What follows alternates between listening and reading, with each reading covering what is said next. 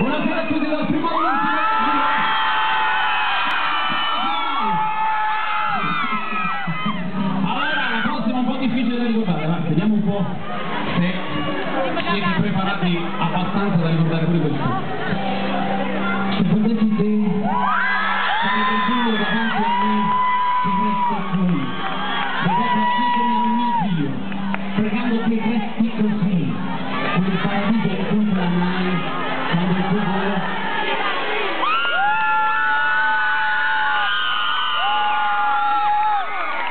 Non